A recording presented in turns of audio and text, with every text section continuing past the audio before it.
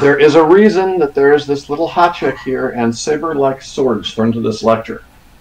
One of the controversial things I'm going to go at and hopefully convince you is true is that if we insist on taking a specific model as our Ur-Saber, what we wind up with is a hugely distorted history of how Europe handled its weapons. And we're starting before Napoleon because by the Napoleonic era, the saber had basically completely diffused through Europe in terms of mainstream constant usage. That's not to say that the Napoleonic era marks the actual divide between the early history of sabers and the rest of the history of sabers, which is also another commonplace I've heard on a number of occasions as I travel around and teach people about sabers. The saber has existed in its functionally mature form for roughly a thousand years. And yes, I mean that exactly the way I said it. And you may not take that at full value, but by the end of the lecture, I think you will agree that it's at least a defensible thesis and that there's a lot more to Saber going on than folks usually consider. When we get into the early history of the Saber, though, we have problems. A lot of problems. My favorite being weapons being rehilted without conveniently notifying us future people. We will see that very directly once I start memeing my own lecture. We have archaeological finds that come in from various places where we're not sure where they came from, or where people are basically told, hey, we have an ideological concept, and you're going to subordinate your archaeology to our historical concept. This is especially the case during the very beginning of medieval studies as an actual intellectual discipline, where much of what was being looked at was being looked at as ways of justifying various forms of empire or ethno national state building. And if you look on the left, you can see a whole bunch of different theories there, none of which you need to particularly know, except insofar as various governments told archaeologists, write according to these theories or stop being an archaeologist. When they were nobles who had lots of spare time, they couldn't quite do it that way, but those folks were typically invested in their community far enough that they natively used those ideas anyway. One of the big ones we have to deal with that's worth taking some time out here is, I gotta go backwards, is Turanism and anti-Turanism, because we have a very, very generic understanding of what the Great Steppe and Mongols and Kipchaks and Kuman and Oghuz and what all those things are and how sabers relate to them. And a lot of romantic ideas, either about the importance and interesting parts of the steppe, or a lot of romantic ideas about how the steppe was garbage and created nothing, continue to mar the archaeology of this subject to this day. Uh, Russ, sorry if I can interrupt you just very briefly. You have a discord.com is sharing your screen pop up at the bottom of your screen. Happily. Yeah, hide it, please. Thank you very much. Sorry. You got it. All right, some of the things on the legitimately call this, if we squint hard enough, are ridiculous and thrown in there to be ridiculous. Others are not. You'll get to decide later. So, what's a saber? If you have ever been in the Discord Saber channel, your reaction to seeing this definition I've attempted to provide might be a smirk because we have spent a glorious amount of time shitposting at each other about what sabers are and are not. We have sabers that are long, we have sabers that are short. Does one make a saber or one make a coltellaccio or cutlass? Are infantry sabers longer than cavalry sabers? Are they still both sabers? Does it have to have a hand guard to be a saber? What about a shashka? If you look at the history of sabers, you will see that there is a tremendous amount of things we legitimately call sabers, and they differ hugely in their constructions. And this problem has been around for a very, very long time.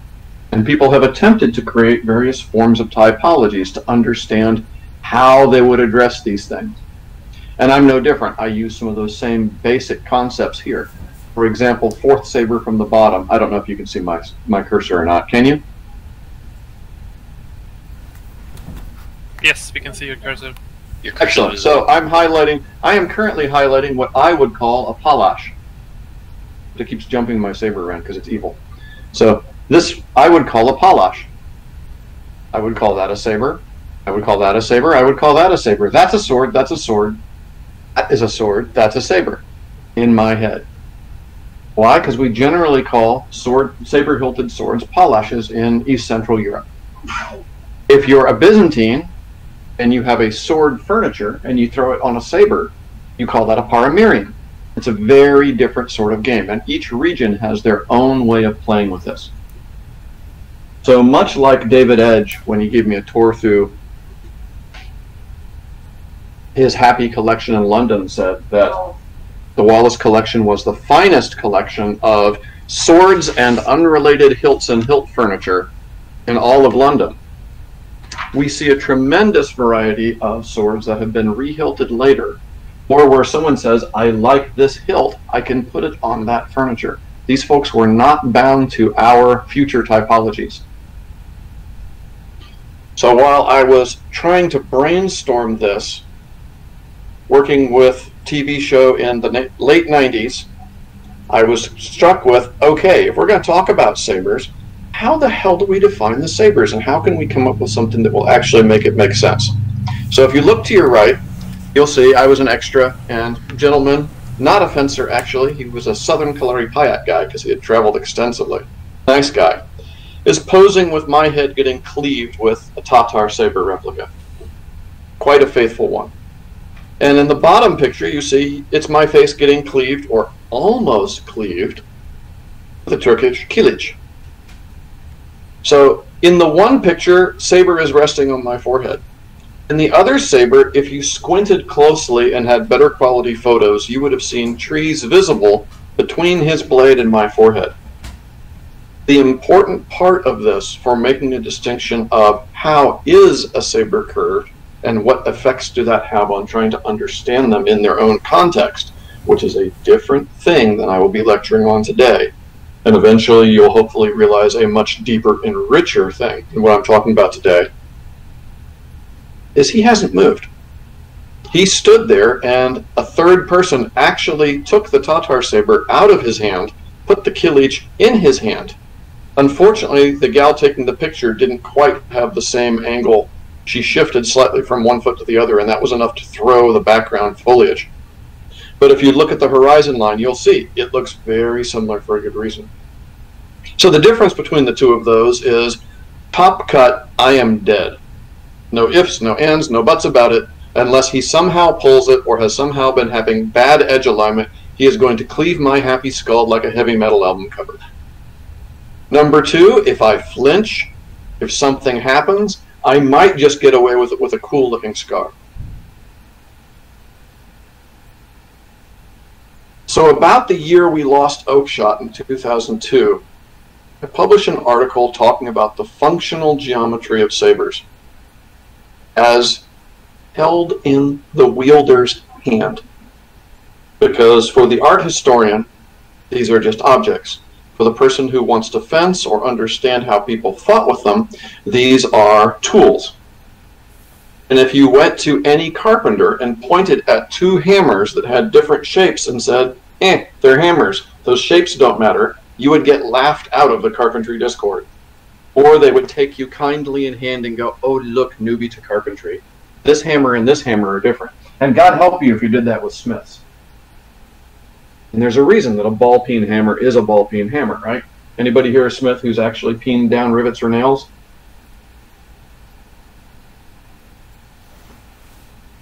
Okay, well then just trust me, it matters. Tools are invented the way they are for a reason. So when we hold the weapon, is the blade behind your hand? Does it curve back, in other words, towards your forearm? Is it aligned straight with the hand? Or does it come in front of the hand? If it's aligned straight with your hand and you rotate your hand or turn your wrist, nothing changes in the overall geometry. It's like holding a pen or a rapier, and if you just turn your hand into one position or another, the blade will travel through space a little bit, but otherwise, nothing much happens. There's still a line pointing from your hand towards the ceiling, the opponent, whatever. If you do that with a blade that's in front of the hand and has a curve, you have changed the engagement space. If you do that with a blade behind the hand, you have changed the engagement space.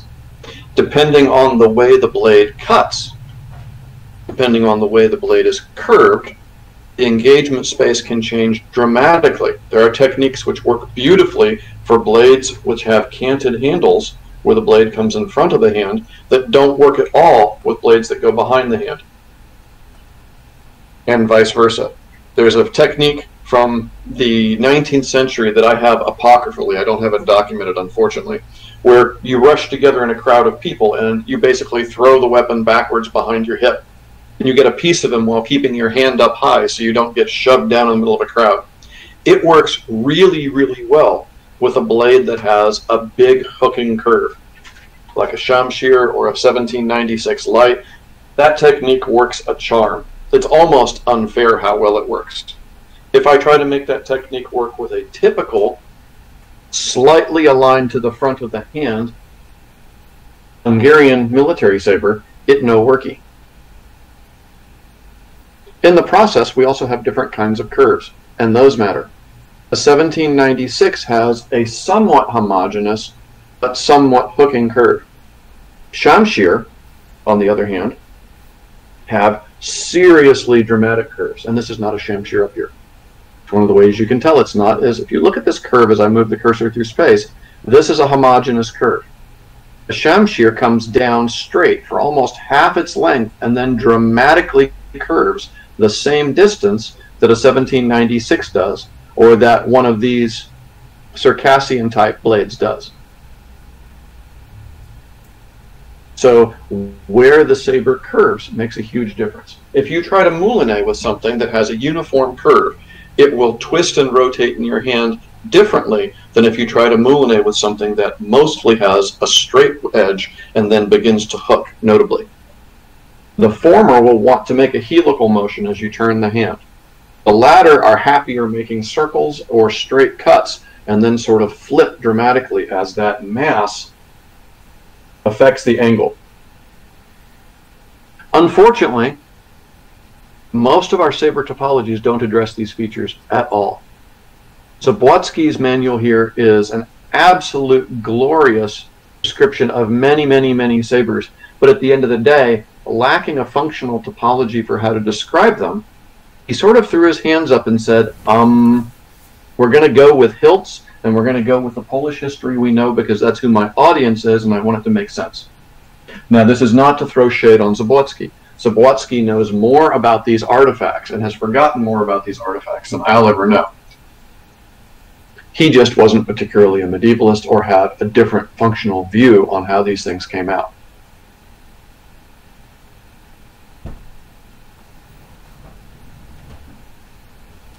So the point is that we need these functional descriptions if we can get on the same page when we talk about how the saber actually moves around through Europe and what the history is.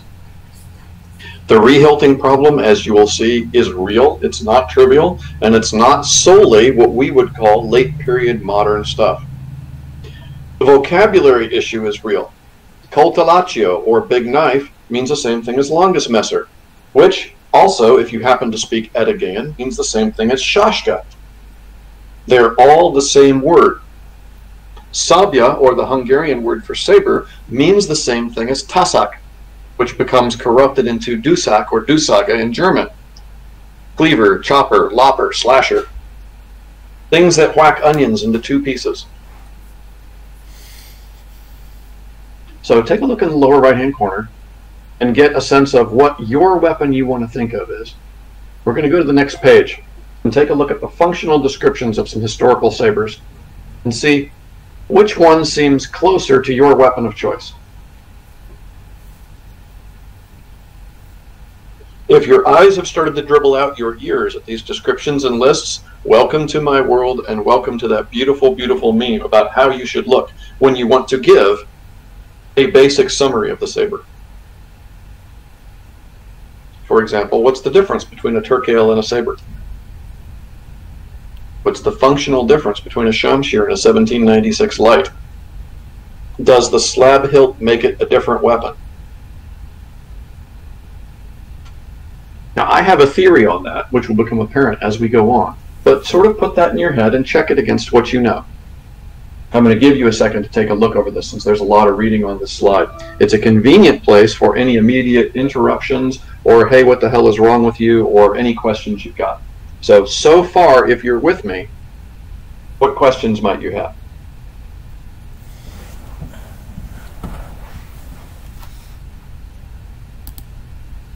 This is a lot to take in. Is there any, has there been any sort of attempt to reclassify sabers with more modern knowledge? I have done a teeny tiny bit, and more more or less what I have found is there hasn't been much interest. The folks who've been interested in historical fencing and the functional part of saber use has been a teeny tiny community for a long time. And I know you say that the saber's time is coming, but the interest has been so low. I mean, that's why I'm the brand name in HEMA that I am today, right?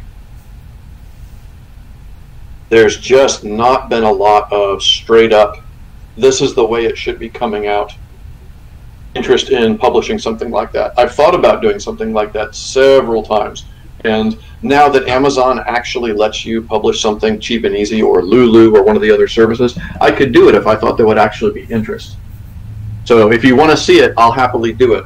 But the archaeologists, for the most part, haven't bothered because in their world, what they really want to understand is what does this saber tell me, or what does this weapon tell me about the people who were living there, the context in which they lived, the context of the people resulting in the finds, and all those much deeper archaeological questions.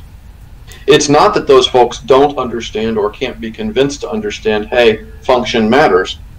In fact, of all the different fields, they're the most likely to go, oh, yes, function definitely matters but our context doesn't particularly fit what most of the main audience for these finds really needs. Make sense? Yes. All right. I- any other questions or any objections? Yes, Daniel. Yeah, I can't see any patterns in this at all. Are there, are there any patterns? I mean, just like one-handed, two-handed, crossguard pommel, no crossguard, complex hilt, straight blade, curved blade, etc., etc., etc. There's like no pattern to this at all. Is there any pattern? There is a sort of historical change over time, and there is not an immediate I can shove it into pattern. That's part of the problem. And part of that comes from we have people who call starkly different tools the same name. One of the reasons I started moving towards let's use a functional vocabulary rather than a typology is if you talk to a Prussian in the mid to late 19th century, he's going to look at a beautiful Swedish saber and say, nice palash, dude. The Frenchman with the straight blade is going to look at a saber and go, hey, this is all about the hilt the Hungarian or the Pole is going to look at the straight blade and go, "You can't call that a saber, dude. No, just just stop. Don't." And vice versa, and all around Europe, everyone's got their definitions which work in their cultural and military contexts. So, unfortunately, I so wish I could give you a bang. This is a saber. Right now, we're left with curved swords. My personal topology is holding with, based on my scholarly work being based in East Central Europe, the historical terms which tended to be used there, which is saber equals curved blade. A saber hilted sword can be characterized as a palash or palosh, and very few people would actually use a paramerion, but it was the term used for it for a long time. And making that distinction has tended to be the one that I default to, because there's a long history of it and it lets us categorize these weapons cleanly. All right, somebody popped in. Who was that, please? That would be me. Hey, Seraphin, what you got for me? And me. I have a question. Okay, that about would be two of you. Yes. Um, so, what's the practical difference? You said something about handling, but what's what are other differences of an early curve and a late curve? Okay, so there is no early curve or late curve. It's a distinction that doesn't exist because later people frequently knew about earlier blades and would play fashion with them. For example, the Mamluk sword that's still popular today. When we, what we can say is that in general, earlier sabers tend to have No, no, no, no, sorry. curves. Sorry, I meant uh, near the handle, so that the curve starts near the handle or near the tip. You said some Aha. of them have a straight blade and then they curve at the end. What's the difference of them? Like maybe difference in cutting, or you said handling, but what are the other differences? Okay, so if I'm going to take a parry with a blade that goes out straight and then curves, Hmm. I can extend my wrist straight forward and let the curve cross co- come across my body. And it will pick up an opposing weapon differently than if the curve begins to arc across my body straight from the hand. So, for example, I'm going to go straight and curve just to give you the quick illustration. If I want to cover a point between my eyes, and I have a curved blade with a homogeneous curve, I can turn my wrist over into roughly the hand position for quart. So a palm sort of up and to my left. And the curve of the weapon will create an arc through space that protects my entire left side. I may have to raise my hand up, I may have to bring my hand down, but that curve will protect me. If I do that with a straight stick or a straight sword, I am asking to die. Whatever blow comes in there will pick up the flat of my blade and smash through me like the Mongols went through Persia, and I will get cut. So I then have to, to make the same action, bring my point to the outside, and I wind up in a position similar to Ox or Fenestra. Or I have to take my arm much further out to the side in order to guarantee that I have the same strength of blade and alignment of blade to cover it. With me so far about the difference between curved and straight? So, like that was the difference between curved and straight. But uh, what I meant is what um, it being curved near the handle or near the tip. What's the practical difference?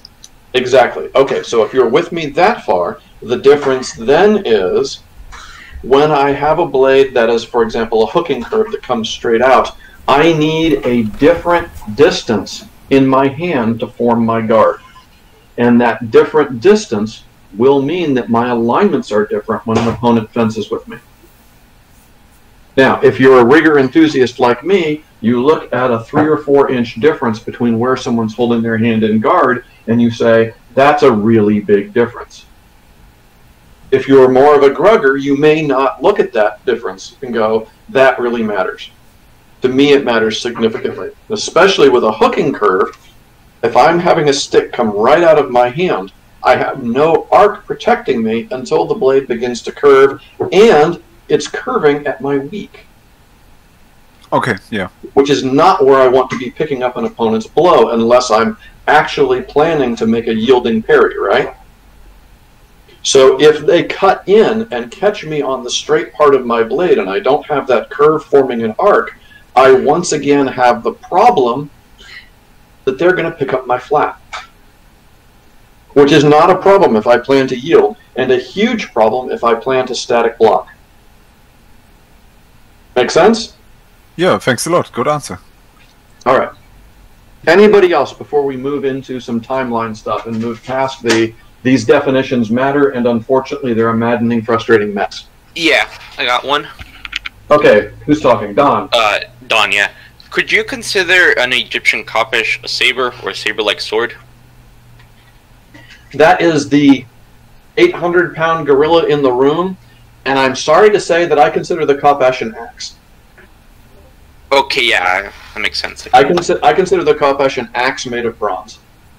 All right, that would make Is That's Messer a purely- oh, we'll get there. We'll get there. Bear with. Have you ever heard of a uh, curved palash? Like that's called a palash still. I am not familiar with a Palash that is curved and called a Palash. Now, someone may have classified one and called it a Palash, and I don't know about it. Very easily could happen. I have never seen it. Hmm. Somebody else popped in right before your Palash question. Who was that? I don't. I want to make sure everybody has a chance to get questions in. I, I think that was me muting myself. Okay. All right. So, without further ado, and and moving on towards the Messer question, I'm not ignoring you, but I want to let you answer the question for yourself once you see the evidence. Let's talk about the diffusion of the saber in Europe. Now, this list is not exhaustive. There are other things we could talk about. For example, point eight: France discovers it loves hussars. About the same time, Prussia discovers it loves hussars. But we're not going to talk about Prussia at this point because they already had sabers and knew how to use them. And the big deal there was just lots of Hungarian emigres became available as manpower. So Prussia starts using a lot of hussars because, oh, look, we've got lots of people who have these skills who we can put alongside our heavy cavalry and our uhlans, and we're good to go. Whereas for France, the saber is really an outlier that's not native to French military organization up to this point. And we will refer to certain fencing resources along the way. So we're back to the Carolingian Renaissance, the 800s, the 900s. The in Europe, as we call it today, the Bulgar Empire and the Avar Khaganate both used sabers. Now, I've referred to intellectual and historiographic problems with different theories, like the Illyrio-Slavian, excuse me, Illyrio-Slavic continuity theory, the Hun-Hungarian continuity theory, the Daco-Roman continuity theory. All these, the 20th century was horrible, and the archaeologists will say what we tell them to, or else. Lots of finds are a complete bloody mess. So there are places where we have difficulty distinguishing between an Avar saber and a Bulgar saber. The general consensus from the historiography I'm familiar with in the 8th and 9th centuries is that the Avars tend to use a very small Turkic cross and they tend to be set up for a longer handle. And the Bulgar sabers can have a longer or shorter handle, but tend to have kians that are upturned and are very similar to early Hungarian sabers with little knobs. Climate changes. We get, well, all of early medieval history and all of high medieval history is marred by all these different tribes looking for places to be because there's this giant conveyor belt of I need places to put my animals and the crops are failing and we have to move, right? If you've studied any medieval European history, you know this is a huge affair. The Khazar Khaganate gets crushed by loosely and very imprecisely called Vikings from the north I know, I know, don't beat me up. We're just shorthanding that as we move through. The Hungarians move into the absolute wreckage of the Carpathian Basin, basically being chased there by Pechenegs, who are in co- cohesion with the Byzantines, who like to play divide and conquer with steppe peoples because they're rich and they have resources, and it's much cheaper to bribe them into fighting each other than it is to actually do heavy patrols. At this point, the Byzantine Empire is reeling as its ally in Persia that it has been using to hold off the Turanic peoples of the steppe has gone away. So, for those of you who don't know the historiography, there was a point where the Byzantines and the Persians are su- such allies against the steppe peoples that they actually have joint military settlements. It's a really big deal. Well, the Persians are having their own problems at this point. The Byzantines are fending off lots of people coming up from the south.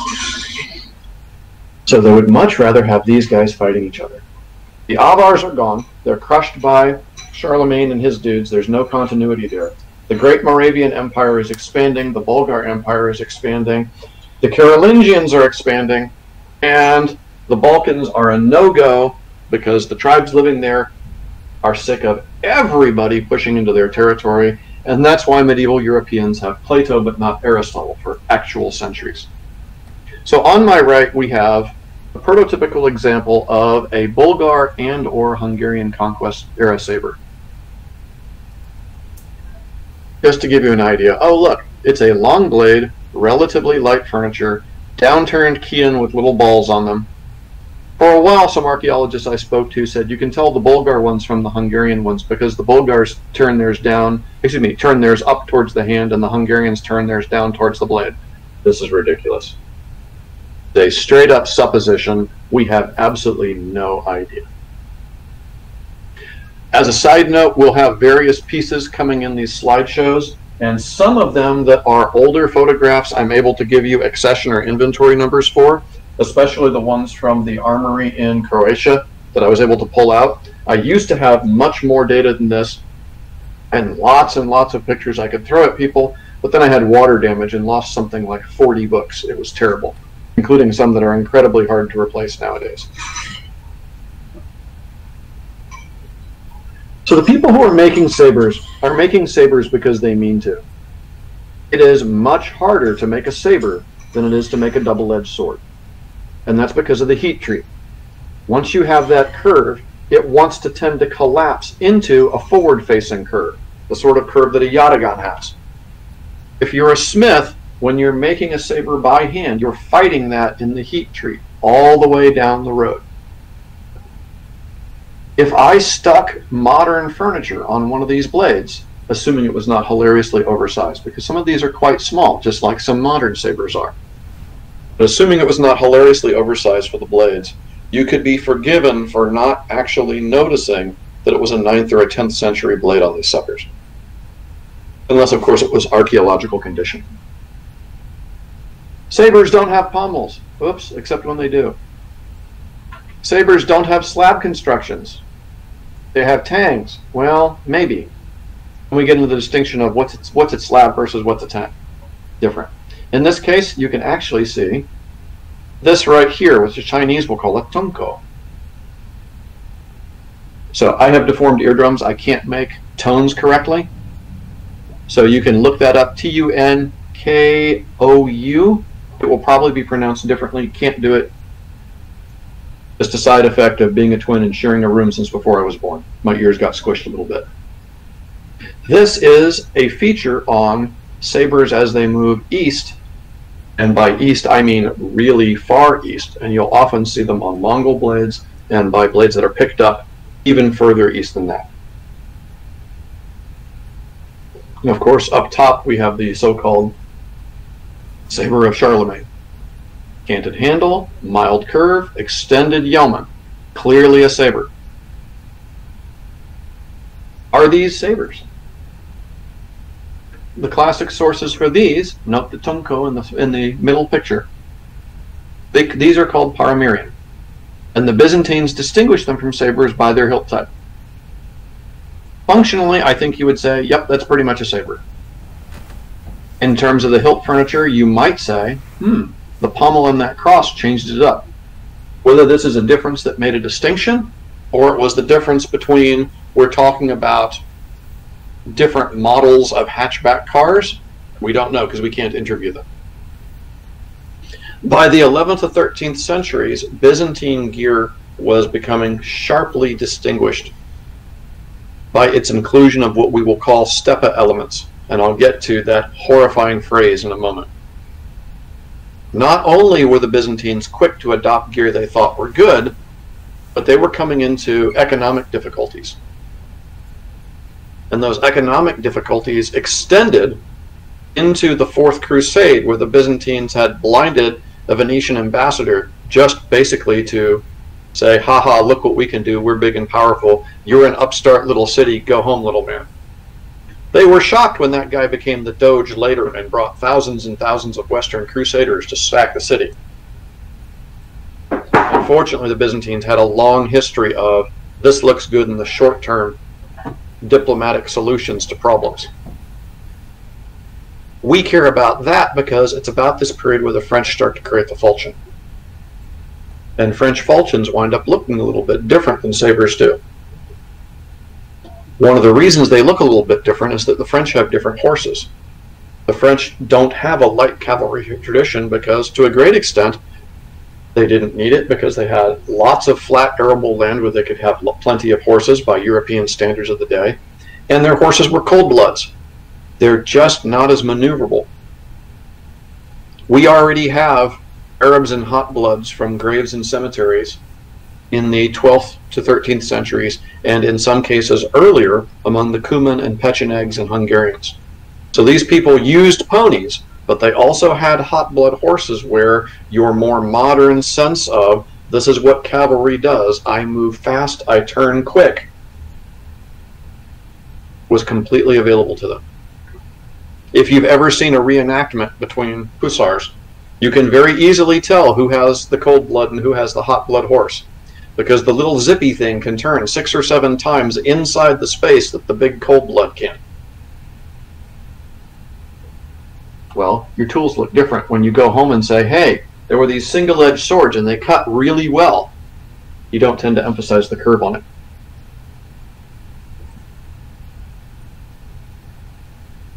So we talk about the steppe.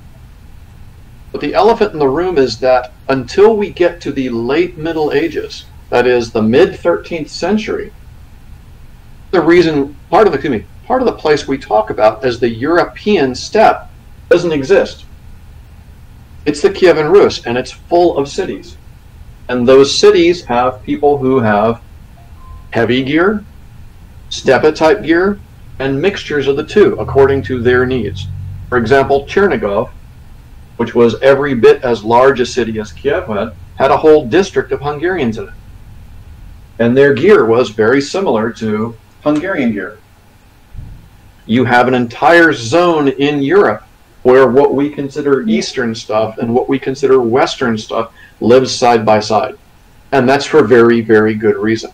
You have circumstances where if you have to chase the Pechenegs, who historically equip out and gear out very, very light, you have to gear up light yourself, or you're just not going to catch them. If you're going to fight the Byzantines, or you're going to fight somebody up north who is in heavier mail or heavier equipment, you've got to get the heavier equipment yourself. Or you use your light cavalry to initiate holding attacks so that your heavy cavalry can come in and hit them while they're engaged with your light cavalry. This was taken for granted, for example, by the Cumans in conjunction with the Bulgars, smashed the Fourth Crusade at Adrianople in 1215. The reason the Fourth Crusade ends is that after the devastating losses at Adrianople, most of the Crusaders just go home.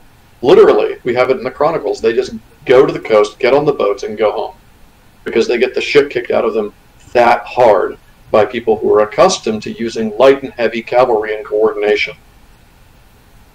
Those guys also have sabers. Now, the sabers weren't the dominant part of the victory. It was having more tactical tools than your opponents know how to deal with. That was a big part of the Mongol success as well. So, in the 13th century, you start to see lots and lots of falchions because the people in West Central and Western Europe are going, we've started to see in the Middle East and in Europe lots of highly effective single edged swords that are not just little things like a sax, but are long weapons which can be used by knights on cavalry to high effect. 14th century Italy, we see the same thing going on. Now I have to apologize, I've got an anachronistic picture here in this slide for a reason. That's this one over to the left. This is a fresco from the 15th century. St. Ladislas and the Cuman. It's a Hungarian Carpathian Basin tradition. Shows very clear gear that would be taken for granted in both contexts. And the Cuman's gear, Steppe guy's gear, is more or less consistent across both 14th and 15th century. The equipment tends to be very conservative and to change very little. And these guys were also used in Italy alongside Hungarian soldiers. They also wind up in Bohemia in the early 15th century during the Hussite Wars.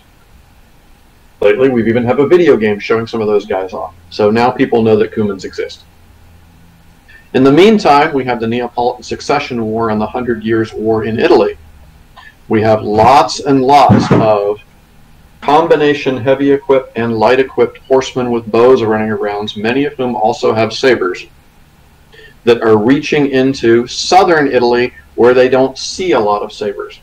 Northern Italy, Venice, along the Adriatic, they already see lots of it. Hungarians and Venetians in this period actually equip up very similarly.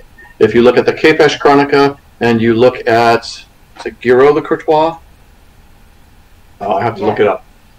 I think it's Guiron le Courtois, which is a Neapolitan manuscript. You'll see that their gear is very, very similar. And that's because there's this zone, just like there used to be a zone from the Byzantines up to the Carpathian Basin and through the Kievan Rus. Now that zone is Venice, the Balkans, the Adriatic, Hungary, Bulgaria, while it exists or is trying to exist again in its long fight with the Byzantines, Byzantium, and to a certain extent, the incoming Ottomans. And that means that as you move into the 15th century,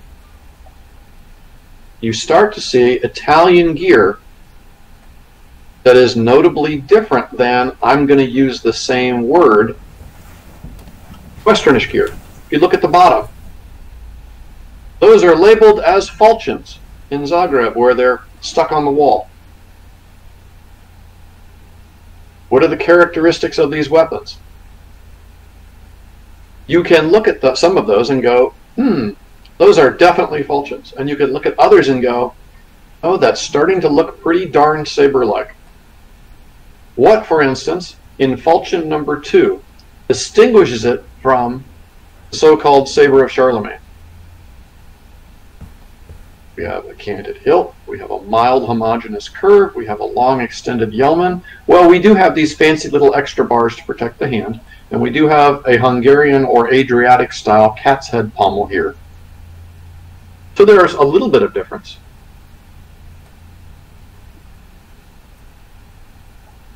This is a long knife. Clearly this is a langes messer. It's even got a nagel. That's not a cutlass, that's a messer. You can see where this starts to get complicated, right? I gave a description in one of the other chats about the history of the Neapolitan succession wars, so we're not going to spend extra time on why this guy's probably a Hungarian. It's somewhere in there in the channel. I typed for like an hour. There's plenty of history there. You can go check it out. Somewhere in there will be a link.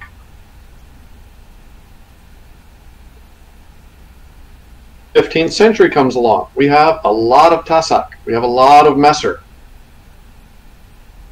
we get really complicated stuff going on here. Because hilt design and hilt furniture absolutely makes a difference. But at the same time, functionally, how much difference is it making? How many Kriegsmesser do we see with giant yeomen? And who decided to put them there? It's got the nagel. It's got every feature of a messer you expect, except the clip point. Bohemians tended to prefer a clip point. Bohemia was one of the major centers of arms and armor manufacture in Central Europe. One can make an argument that the beginning of the Taborite Wars, Bohemia is actually one of the main centers of arms and arms production in Europe. The new city of Prague had a lot of weapons and armor manufacture going on.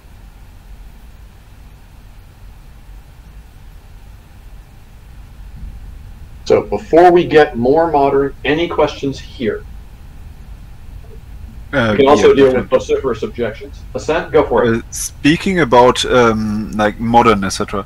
Um, the last picture and this also shows the knuckle bows the first time in your lecture. So Mhm. I'm just not getting at all why the knuckle bow was not adopted earlier. I just don't get it. It's a simple piece. It's not in a way etc. It protects your hands so well. I'm just not getting why it wasn't earlier. There are a couple different theories for why it becomes more popular. But one of them is simply that it adds weight near the hand that folks may not have wanted there.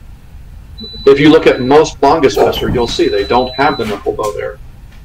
We also have lots and lots of people who in earlier eras would have been pressed into service fighting with spears, or if you're in the Carolingian Empire, cudgels, literally cudgels, because they just don't have enough swords for all those people, who are now able to get this kind of ironmongery. And if you're fighting on foot at close quarters, a knuckle bow is really, really handy for punching people in the face. Now, I know we don't have manuals where they say, let's punch people in the face, but this is also a question that comes up for basket hilts. Why not enclose the whole hand in a basket hilt? It makes sense, right? But unless I have missed something somewhere deep in Lonnergan or the British sources, I don't know of a single source that says block with your basket. Somebody may correct me on that later, but it's a terrible idea. If you punch your basket at a blow, you're likely to lose your wrist as they redirect the blow in. A knuckle bow adds extra security to the hand a little bit, but in my opinion, it's probably there for close quarters brawling as much as it is for actually protecting the hand. Especially because many of these guys would have lightweight protective gear they would already have on their hands. It's all supposition at this point, and your opinion on that is every bit as good as mine. But at the end of the day, I'm tracking this down to economics gives you options. And we don't like talking about economics in the middle of our history, but Europe economically after the Black Death goes through radical transformations, and it's really hard to compare eras where you have lots of disposable people to eras where every last peasant is valuable. So we even stop consciously destroying their peasants when our nobles feud and find other ways of solving our problems because we don't have enough peasants to work our fields.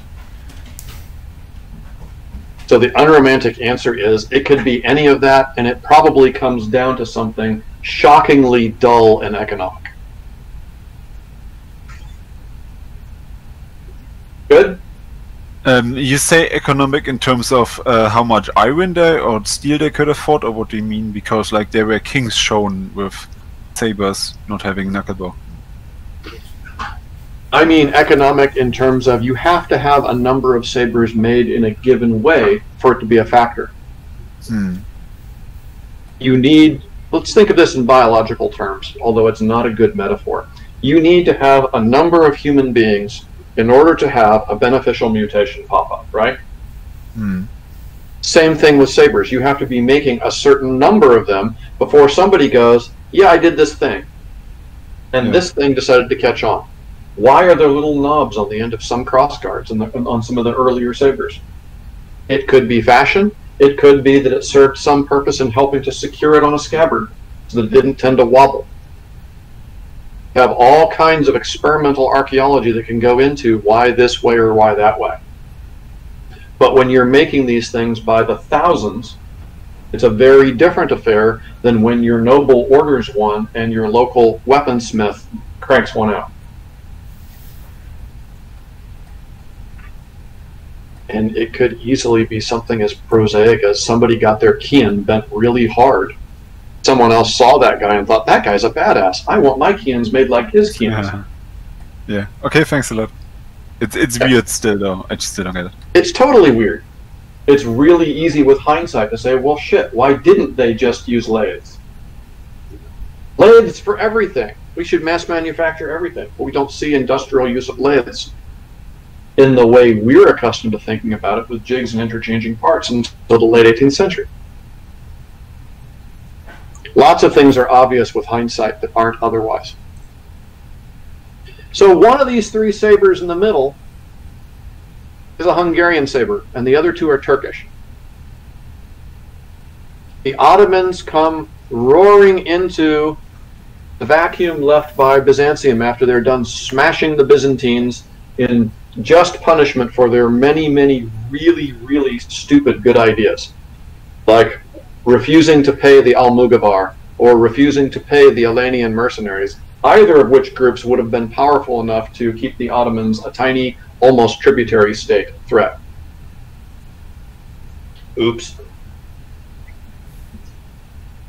So you have lots and lots of Ottoman troops ranging across the Mediterranean and in continental Europe, ranging through the Balkans and into East Central Europe, as opposed to Southeast Europe. And many of them were troops who came from the Balkans themselves. And a lot of their gear was very similar to East Central European gear as used by Croatians and as used by Neapolitans, excuse me, Venetians, not Neapolitans, Venetians, and as used by Hungarians. To the point where outsiders frequently couldn't tell the difference between who was who. And so you see, for example, this very standard 15th century Hungarian saber form Adriatic style S-quillons, popular in Hungary, Venice, the Western Balkans. Big yelman, cat's head pommel, a mildly canted handle, a uniform curve, a pronounced yelman. Seeing a pattern here? Starts to get exposed to different fashions.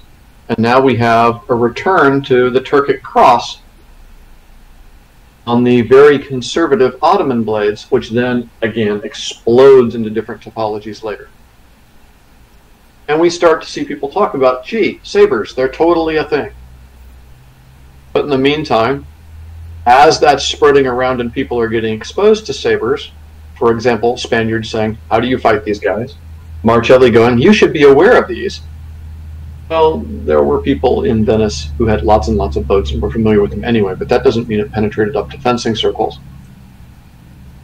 We still have to go back and consider two of the element elephants in the room were sabers and saber like weapons. Now, there is a little bit of my personal druthers here. We don't have the text for Durer's work with the Messer, which is a crying shame because as a body mechanics specialist, it's what I do for a living, who also fences and who worked on Lecküchner, I see real differences between Durer's use of the Messer and Lecküchner's use of the Messer. And some of those differences, in my mind, make the Messer work a little bit closer to saber type actions. It's it would be a long and definitely Hemo Wild lecture to put out there, and I could trace that down. But you can look at some of the weapons and go, hmm, some of those are straighter. Some of those look a lot more saber-like. We have a yelman? Nope, we have clip points. Why? Because they expected clip points. And why? Because the ethnic Germans living inside Hungary, because the old kingdom of Hungary was a multi ethnic state, and you had lots and lots of Saxons and Swabians living there, liked clip points better than they liked raised yeomen. But if I were to say, oh, look, a scimitar, and show that langes messer from the top center picture to any fantasy gamer, they would go, oh, yes, a scimitar. It has these stats.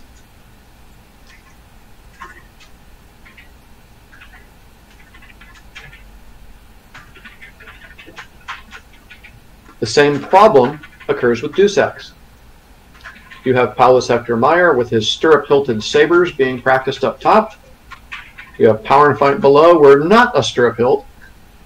He's got the little extra hand protection. Got Meyer in the lower left. The training tool made from wood, the medieval equivalent of his synthetic boffer, has got the stirrup hilt. And you have Dusak that go all over Europe. They become shockingly popular everywhere. Big ones are usable from horseback. Little ones are great for brawling in towns.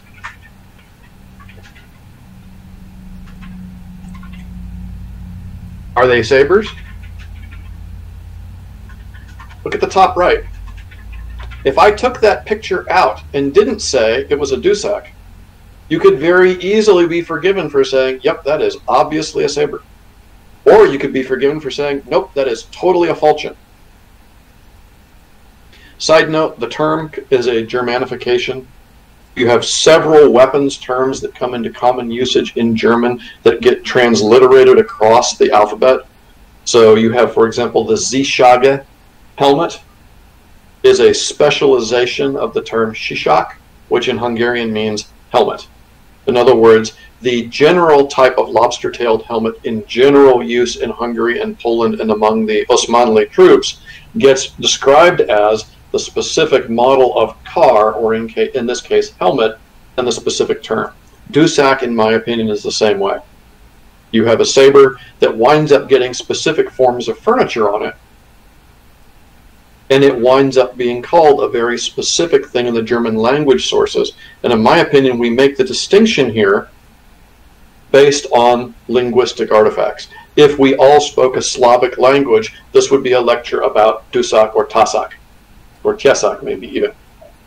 And Saber and Dusak would be the side note weapons. But functionally, if you look at this, especially this middle one, this is very clearly a rehilted blade. This is not what many of the sources are saying. Yes, totally a Dusak as seen in Paulus Hector Mair. Why? Because we have lots and lots and lots of examples of rehilted blades. And you update the hilts based on current fashion and current ideas, and you slam new furniture on them. It happens all the time. And it is a huge problem for anybody who wants to take a topology and make it according to whatever your present find in a museum is without knowing the provenance of a weapon and how many times it passed through different hands and how many times it got rehilted along the way. David Edge was snarking at me when I toured with him through the Wallace, but he was not kidding. Almost none of those weapons in those racks are actually the original furniture on the original blades. And we have to deal with that problem when we go, oh, geez. The Turkale, that one in the weapons history we know exactly about. Helix blades from the Balkans, from Transylvania, got stuck into, oh look, I like the kilij blades, I'm bringing them home and I'm putting the furniture I know on them. Not a Dusak, it's a Turkale. Ask any Scotsman. There is no functional relevance to the weapon I'm mousing over with my cursor and a Dusak. And if you said so, you clearly have not been working in Paulus Hector Mair. Yes, I'm being a little bit sarcastic here, just for the purpose. One of the ways this happens is because the Ottoman Wars takes a lot of manpower. You have lots and lots and lots of people coming down from the Holy Roman Empire fighting. You have lots and lots and lots of the poor, the desperate, or the ambitious coming to fight. Because if you survive, you can retire as a gentleman very easily. Very good chance you wind up in some company that's used as forlorn hope and you don't survive, but in the early modern era, hunger is widespread, life is nasty, brutish, and short. And these things pop up in odd places, such as the dude on bottom, who is the John Smith that most American historians talk about insofar as the founding of Jamestown. He was knighted by the dude on top for dueling Ottomans in Transylvania. History goes to weird places. The guy on top Bathory, old Transylvania, fought the Ottomans all over, and also just happened to be somewhat important in Polish history. And the saber gets introduced to Poland in a widespread basis via Bathory, and the Poles begin to make a gazillion different variations of it. From there, the saber comes into really, really wide usage and it comes into really, really wide usage in Northeast Europe. Now, as I referred, the Prussians also loved the Hussar, but based on the history of the Polish-Lithuanian Commonwealth, Northeastern Europe, they already knew plenty about sabers and used sabers all the time. France was a different affair.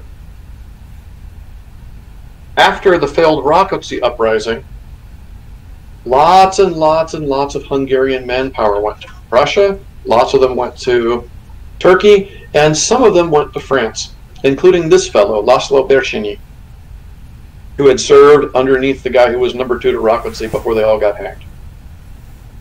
And the French went in on hussars in a major, major way. Hussar fashion became fashionable. The fashion of what looks good changes literally the advent of the hussars changes French fashion history. And they start using the saber a lot.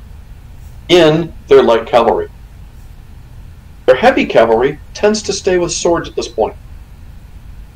And many, many of these guys tend to marry into German speaking families, and they and their children form the hussar regiments that the French will use throughout the 18th century.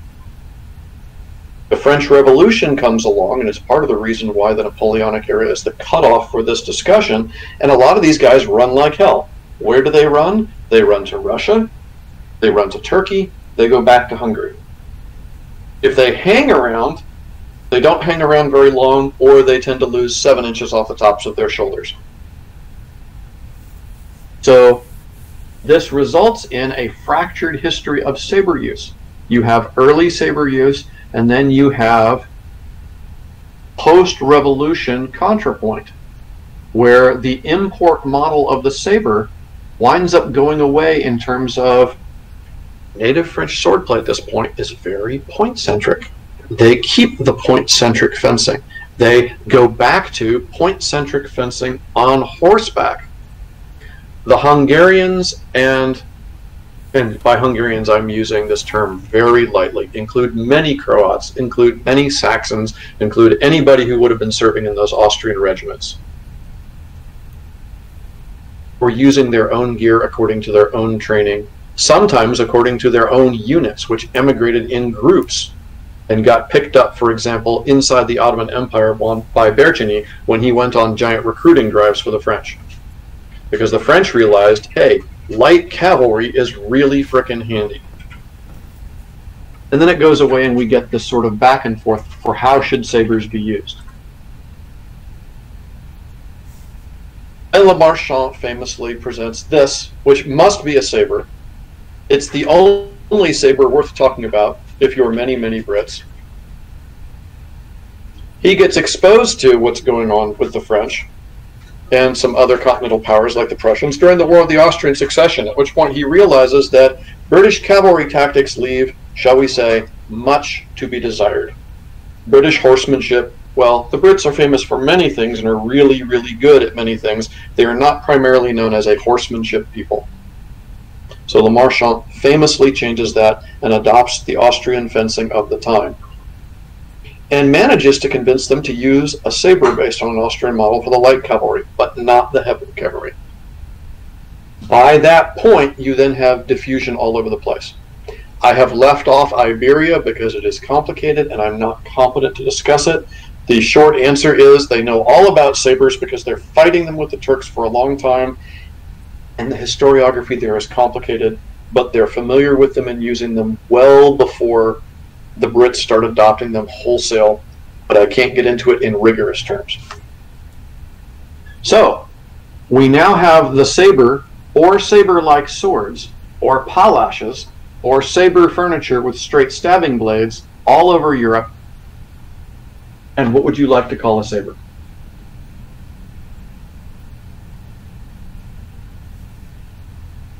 Who's got questions? Um, on Saber and Tusak, um, or um, Dusak. Mhm. Um, so, would you consider the Saber or not? I consider the Dusak to be a German word for a form of saber popular across the Adriatic, which has many elements common to Venetian, Hungarian, and Balkan sabers, and specifically keeps the hand protection which was common on Adriatic weapons. That's a mouthful. Messer?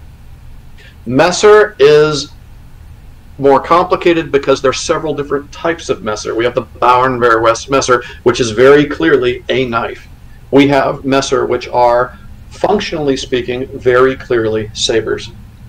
So, in the messer, it depends on the functional vocabulary. Hmm.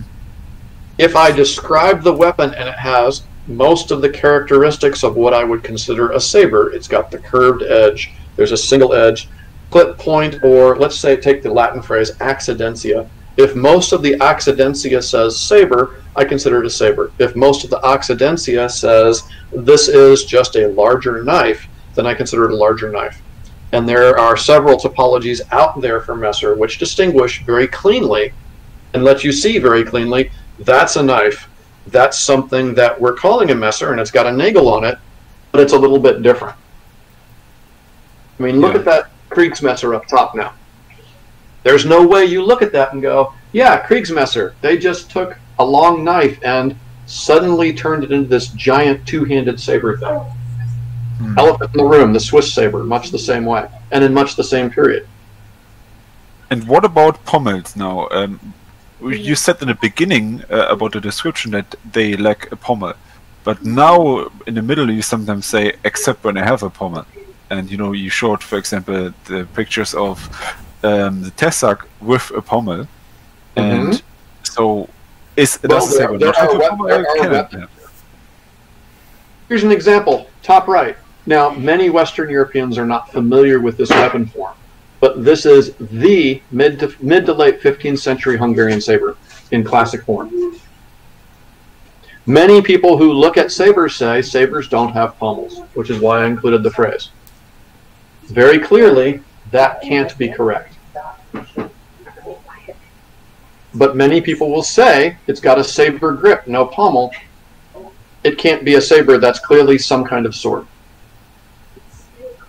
Hence, going all the way back to the beginning of let's simplify and try to define a saber.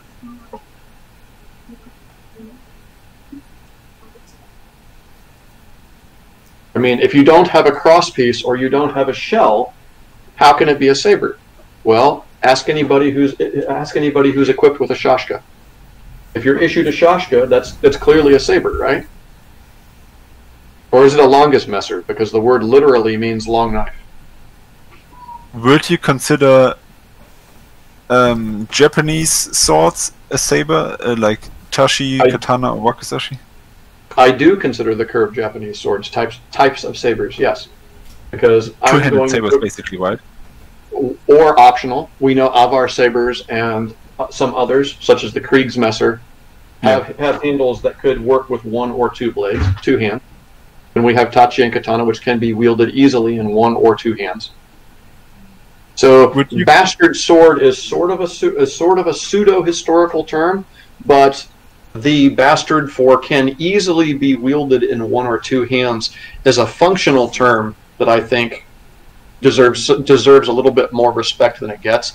And I put those sabers and Korean ones that are very similar in that same camp. What about backsword and spadroon? So look at the functional characteristics of a spadroon. It is a straight, straight blade that's aligned with the hand. It's designed to allow some cutting and some thrusting, though generally privi- privileging the thrusting. Hmm. So I classify that as a sword because it functions similar to the way you use a sword. Similarly, I consider a palash a sword.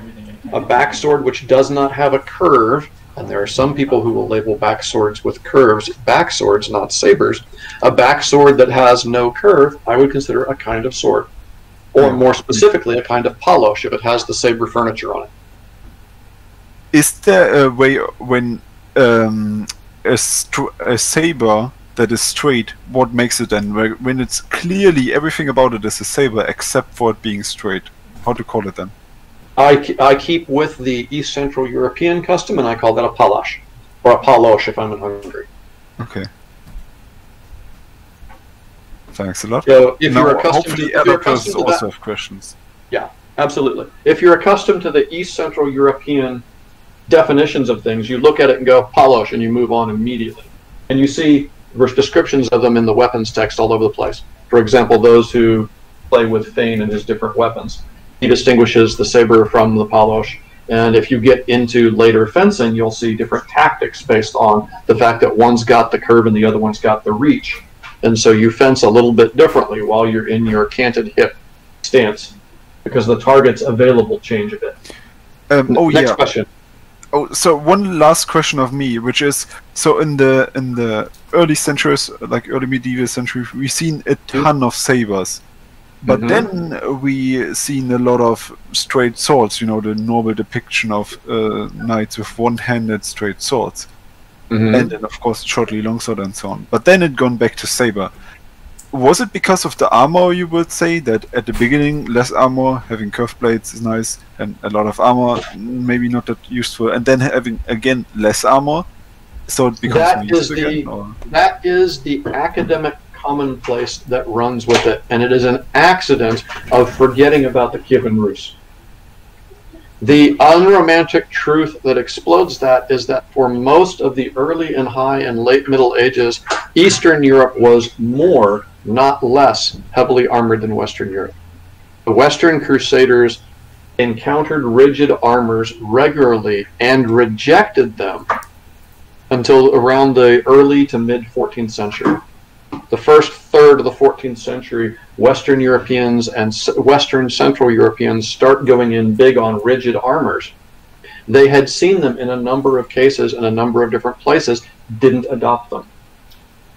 Arabs had access to rigid armors, the Turks had access to rigid armors, various forms of joshan, or early forms of what we might call coats of plates, lamellar, heavy use of scale, brigandine.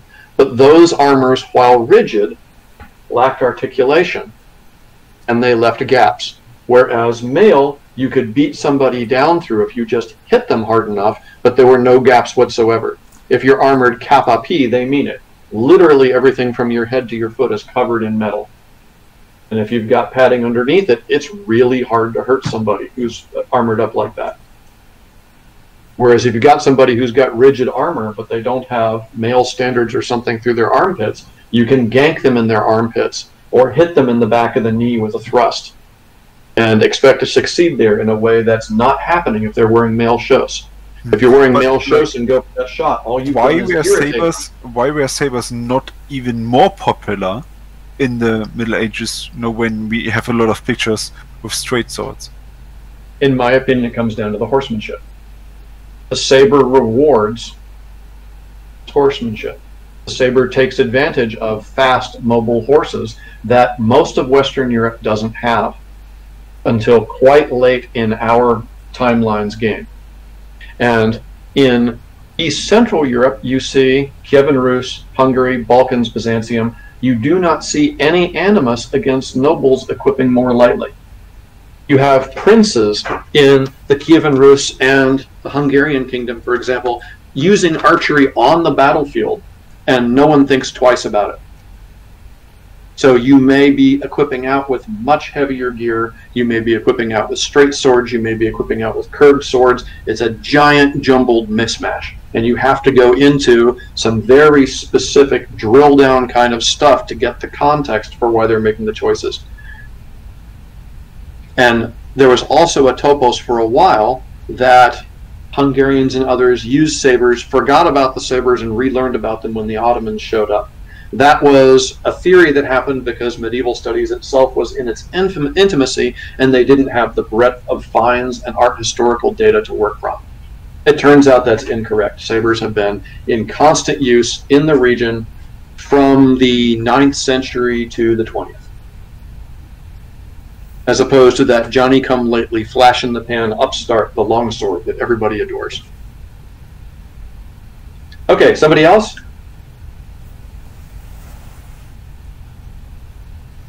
How how do you how do you expect us to be able to live our lives now? Now that you have shattered the the paradigm we used to, how how do you live with this cursed knowledge to know that there is no such, all everything we've been told about sabers is a lie?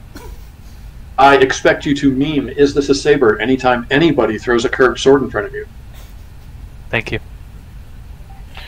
Uh, I wanted to ask about um, contemporary accounts and or what we can either infer, know, or might believe about what like some either fencing masters or other historical figures, like in general, might have thought about the issue. Because I think it's um, about what? when you look about no about like what we can infer or know about what like people contemporary to these swords might have fought. So to give a specific example, um, yeah, okay. So uh, actually, if we look back at the Dusak uh, with both Paurenfeindt and Meyer, Mhm. uh, so Paurenfeindt very explicitly states this is like the fencing with the Dusak, but it is also the fencing you do with the Messer, and that's Mhm. like what it says in the manual. And and and Meyer will. Uh, he sort of jumbles and he, he says it's the fencing with the Dusak, but then he will randomly call it Messer uh, a few times, like during the manuscript. So the weapons like that they show are arguably different. Uh, Yes. Like they they're, they they can be classified maybe the same if you want to, but they're arguably different weapons. Where because like when I see. Uh, yeah, when I see like Paurenfeindt Dusak, I'm like, oh, that's a Messer, and then when I see Meyer Dusak, I'm like, oh, that's a Dusak or a Saber. Uh, so I'm wondering, like, yeah, like, How you is it, is it like as we, yeah, so is it like as we think that maybe these people never cared whatsoever, or or is it more like? Uh, or is it more that like just in this specific scenario, like Paurenfeindt's idea of a messer or a Dusak was closer to an actual knife type or sword type blade, and and and Meyer's idea of a Dusak or a messer was closer to like a curved type uh, blade, something like that. And it, or it doesn't have to be specifically with these two guys. If you know any other examples, No, there's ac- they're actually they're actually beautiful examples of that, and I think that the answer is yes. That both of the things you've said are true. For example, we commonly see sabers referred to in Latin manuscripts as swords. Hmm. And the people who are sending the messages back and forth do not give a single poo that they have not dis- distinguished between Honda or Volkswagen when they're talking about their cars Mm. because it's not the point. There's a bigger thing going on. The reason that they wrote the letter on expensive parchment in the first place. And in the case of Paurenfeindt, I think it's very clear. He pretty much says so. He does distinguish the Messer from the Dusak, and he does have a sense of the Messer that is more sword like, is more straight bladed, is used a little bit differently. And that makes perfect sense if Paurenfeindt is thinking of the Messer as in a context that is different from how a Venetian is thinking of a coltellaccio. Yes, the word technically means the same thing.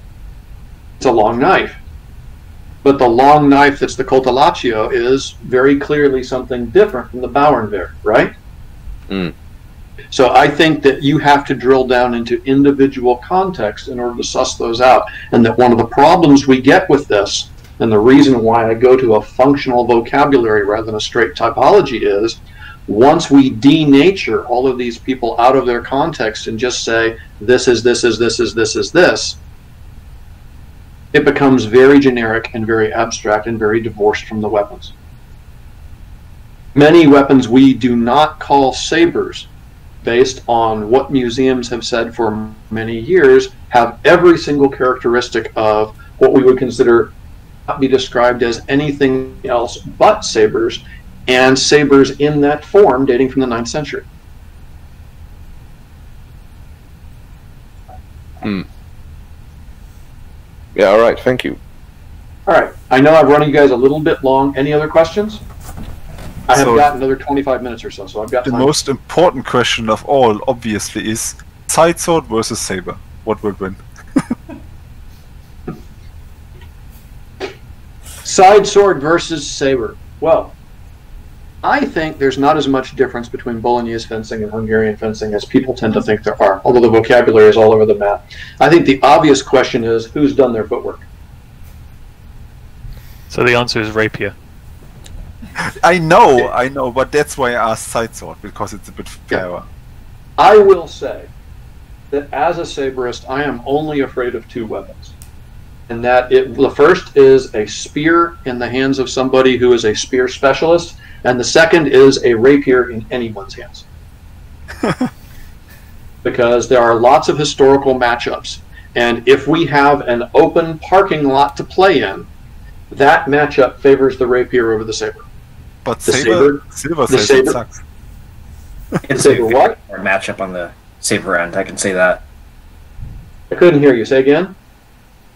If you're if you got a saber against a rapier, it's a it's a bad time generally. The rapier's play and the rapier's fencing has the weapon has both developed and evolved to deal with people who fight with sabers on foot, But side and they're sword, very good at it. Side so a sword. bit more similar, slightly longer but still cutty and so on, right?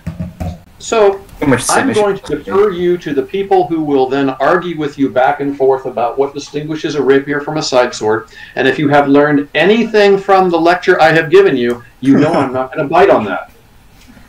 Because again, if I throw an abstract topology out there and denature the actual weapons and the actual choice of usage, it no worky. I think you gave an, a great answer. If it loses against a saber, it's a side sword, and if it wins, it's a rapier, right? yeah, that, that That's a was good one.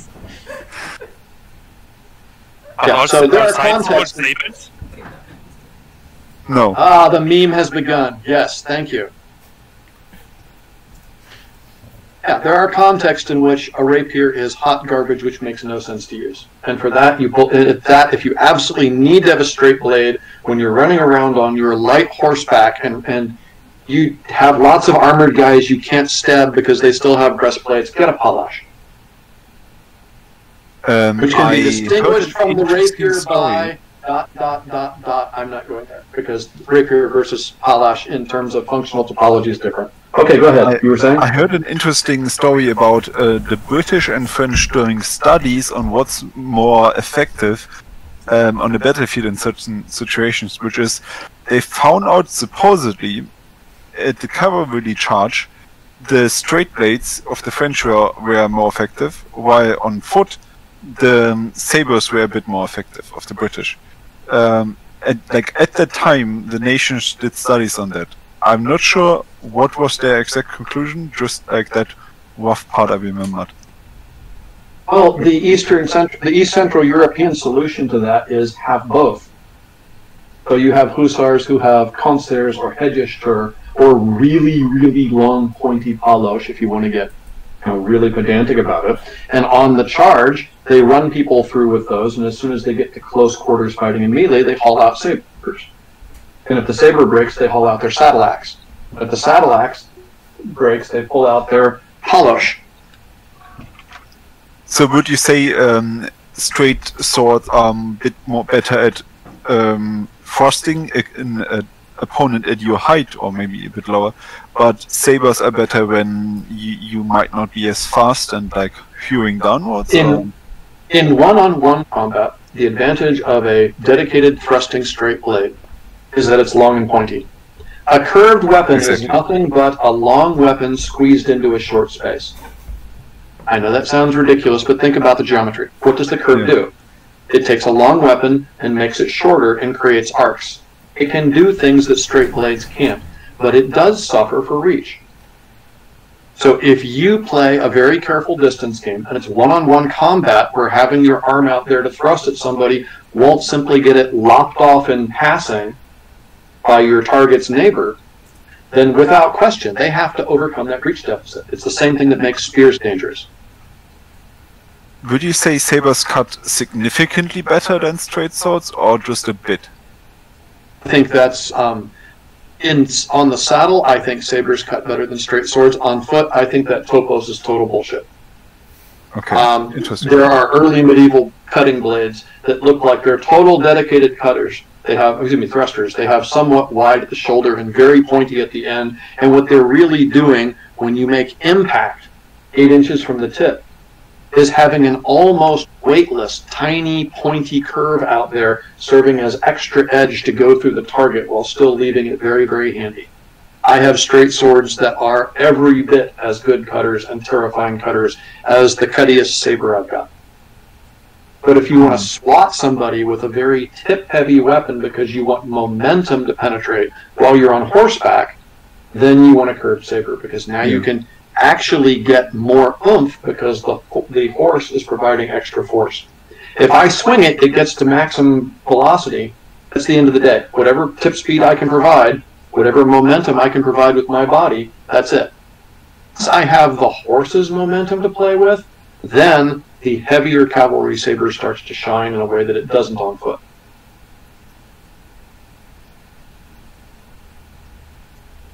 End of story. Stab people with straight blades, cross train with sabers because that's what the people who knew both weapons did. They did lots of thrust training and they thought that was super macho and fun, and they did lots of cut training and they thought that was super macho and fun too. Any other questions?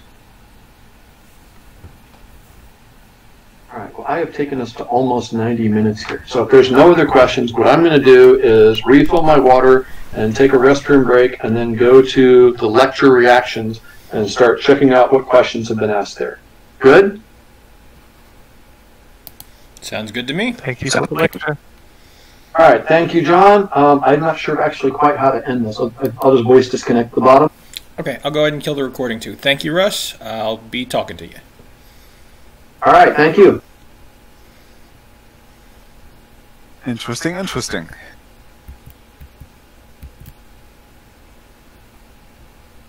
I